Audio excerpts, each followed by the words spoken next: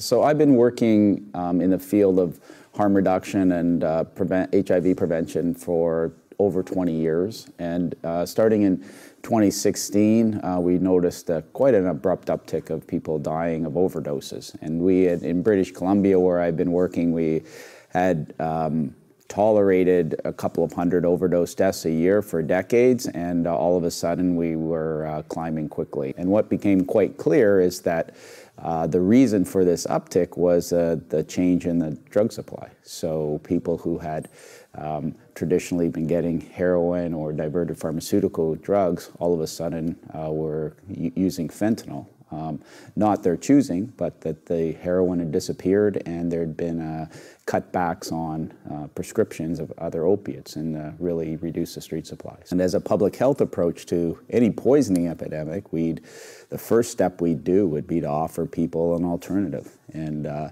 to date in uh, Canada, we have not really gone that route. There's a lot of uh, you know, smart, committed people out there who have done what they can to address the opioid crisis. But um, I think we're at the point now where our standard approaches to this, uh, you know, more um, more support for people, trying to get people into housing, trying to rev up our access to methadone and buprenorphine, trying to open supervised injections. All these things I think are critical and they've certainly helped, but um, we have to recognize that as long as people are forced to buy drugs that can kill them, there's just no way that these kind of interventions will be able to make a big difference because even the most committed person um, who's going to supervise injection sites or always having naloxone um, or even getting to stable housing, there, there's going to be a day when they get a bad batch of this stuff and they're going to die. Like so, it just takes one bad injection and uh, and people can go down. So I really think that